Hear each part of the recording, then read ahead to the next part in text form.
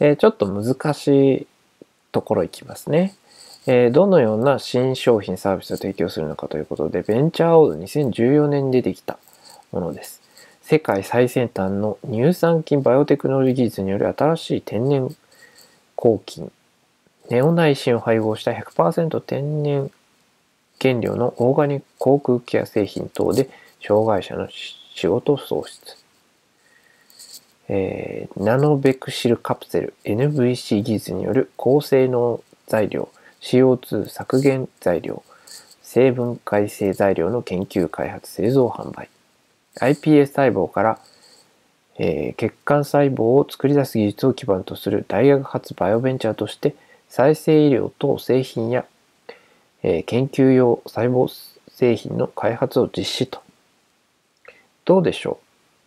まあベンチャーオードで賞を取ってるんですけれどもこの前のですねに比べると、ちょっとまだわからないんですね。専門用語がたくさんあったり。ということで、えー、まあ、ベンチャーアウトを取っているんですけれども、世の中に出ていくためには、えー、分かりやすさとシンプルさが必要なのと、それが一言でこう、パッと伝わるっていうのがね、必要なので、ベンチャーにも、それはだんだん伸びていきながらですね、そのシンプルさっていうのを追求していく必要があると。そういうこともわかると思います